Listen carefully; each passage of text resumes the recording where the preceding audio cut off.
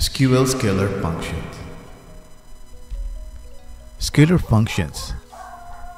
Scalar functions operate against a single value and return a single value based on the input value. So more or less one record, then we also have one output. So here are examples of scalar functions. So we have functions that are for strings and for numbers and we also have for dates and we also have logical functions. So examples is ucase, lcase. So these are string functions. Then round, mod, these are examples of arithmetic or numeric functions. Now and date diff are examples of date functions. Concat is also a string function that will join strings. So I will not be um, discussing them one by one, but let's just have an, an example of these scalar functions. So in this case, I have a table named empt, and then I have a field ename. So if you're going to look at my query, it says here select ename, and then I have here ucase ename, and then lcase ename, length ename, left of ename with a length of 3, so left, then right ename with a length of 3 from m. So we're going to look at the output ename, so this is the original name, then case means uppercase ename. So if we're going to look at the output, the name is converted into uppercase. l case is now into lowercase. Length is the length of the string or the name. So uh, if you notice here, this name contains five characters, so we have here five. Then the next name contains six characters, so we have here six. And then for left ename with the length of three, this returns the leftmost uh, characters of the ename. So the three, so the, because we have here three, so the three leftmost characters of ename. That's why we have DAI. And then for right ename, this returns the three rightmost characters of ename. So in this example, we have ISY, so on, so on and so forth. So these are examples of scalar functions. So here we have another example. Select salary, so that will show the salary, round salary 0, and then round salary negative 3. So when you say 0, that is uh,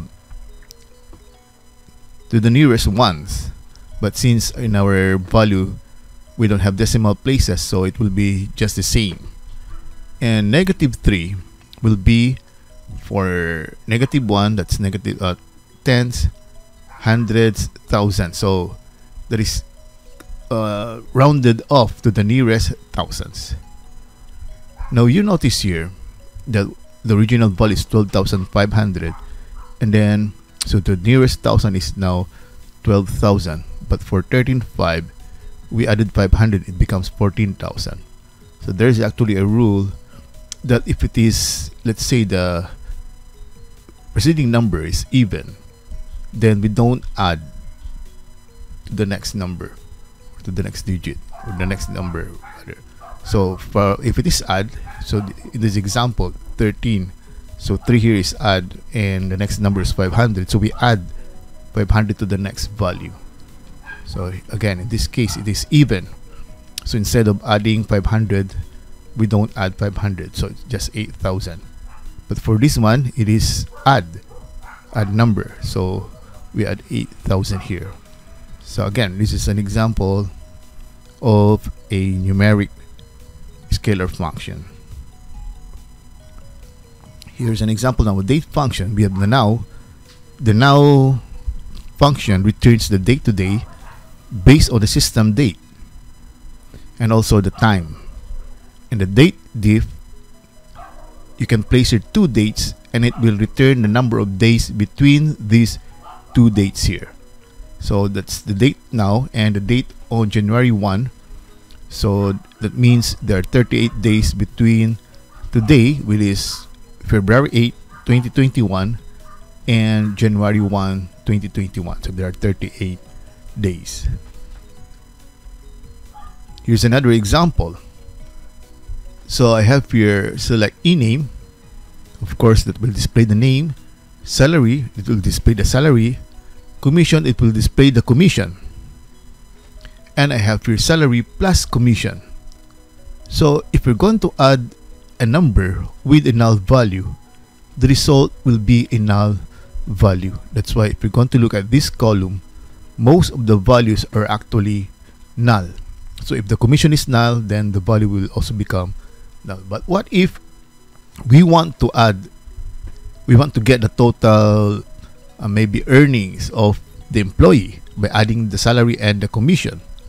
So what we're going to do is we have this, we have the if null function. So we have your salary plus if null commission comma zero. That means if commission is null, then the value will be substituted by 0.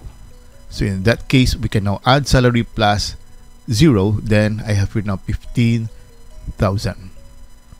So that's the use of if null. We can place here the substitute value if this field or this expression maybe is null. Now I have here another example using the if function. So I have here e-name salary and then I have here format comma 2 so I have here format whatever the value is comma 2 that means it will be for uh, the number the output will be formatted with two decimal places that's why if we're going to look at the output we have here it is formatted we have the comma separator and we have two decimal places now let's take a look at the if function so if we have here the condition if the con- if this condition is true, then it will do this part salary times 1.05. If it is not true, then this is the part that will be done by this function. So we have the condition, the true value, and the false value. So that's an example of the if function. So again, the format function. So this is the same uh, this is the same function a while ago, but this time around, excuse me, this time around, I want to format the salary also with into two decimal places. So have, we have here two decimal places. And that ends the example for scalar functions. Now let's proceed to the aggregate functions.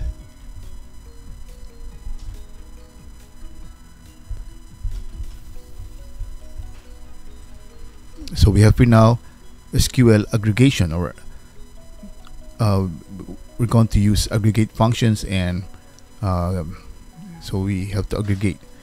That's why it's called SQL aggregation. So aggregate functions. Aggregate functions operate against a collection of values but return a single value. That's why it's called aggregate. Note if used among many other expressions in the item list of a select statement the select must have a group by clause. So there should be a group by clause if you're going to use other expression rather than the aggregate functions. So we'll see more of that as we go on. Here are some of the commonly used aggregate functions. We have AVG that returns the average. Count will count the column. So again, without a null value, null values will not be counted. The same is true with the average. Average will not include the null value. Count asterisk, that means we're, we're going to count all rows. Whether it's null or not, it will be counted. Max column returns the highest value for that column. Min column returns the lowest value for the column and sum returns the sum of the column. So let's have examples. So in this example, we have select count asterisk. That means it will it will count all the records. Sum salary, then that's the total salary, and then AVG salary. That's the average salary from M. Now let's compare that with this query. Select count MGR. So instead of asterisk, I place here MGR. Max salary min salary. So max salary will give us the highest salary and min salary will give us a lower salary. But I'm using the same table. I counted MGR you notice I have 13 records but in MGR I have only 12 here. So that's because again maybe mgr there is one row in mgr that contains null value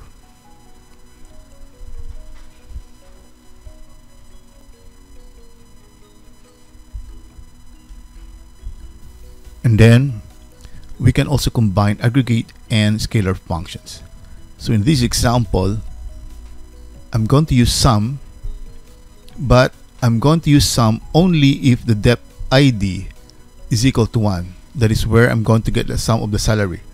If not, I'll be using 0 for my sum. That means I'm not I'm adding nothing. So if dept ID is equal to 1, salary 0, so that's the function that we will be getting the sum of again. So only the salary will be added if dept ID is equal to 1 and then the result of this will be formatted with two decimal places. And then I have here my column alias.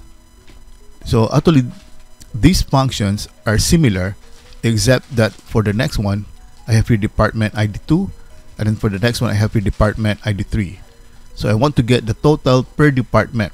But instead of having it by row I'm going to place it in a some sort of a call uh, three columns. So this will be my output. Department 1 I have printed the total for department 1 the total for department 2 and the total for department 3 so this is just to demonstrate to you com uh, combining aggregate and scalar functions now we have the group by clause.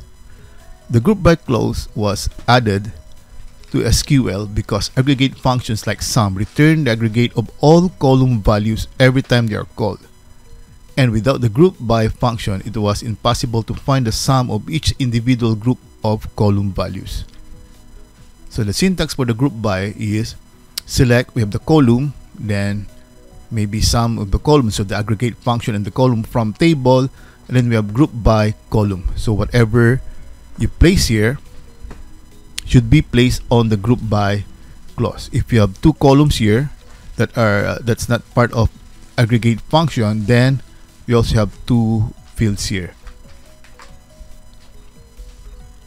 let's try to look at an example so if we're going to look at this these are also the values that we have produced a while ago but this time around uh, this is a lot simpler than what we have we have done last time so select dept id I have here count asterisk sum salary from m but this time around instead of the overall value we're going to have it grouped by dept id so the result is I have here now the count for this department ID and the salary or the total salary for this department ID. And the same is true with the next row. So I have here the count for department ID number 2 and I have here also the count for department number 3. And these are the salaries per department. Now we also have the having clause. Having was added to SQL because the where keyword could not be used against aggregate functions like sum. And without having, it would be impossible to test the result for result conditions. So the syntax for having function is select column, sum, column from table group by column. So the same with the previous one, but on the last we have having sum column and then condition value. So, but this can be possibly not only sum. So it can be any aggregate function. So again, this was on the upper portion was our query in the previous example.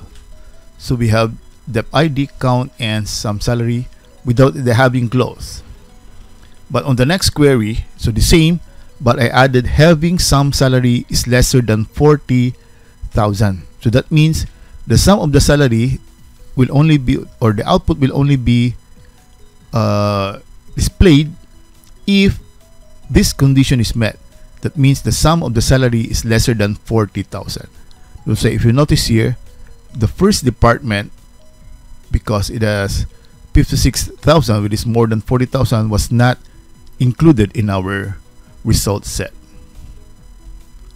So again, in the, by conclusion, uh, we use aggregate functions like sum and then if you want to get the values of the aggregated values per group, then we have to use the group by clause.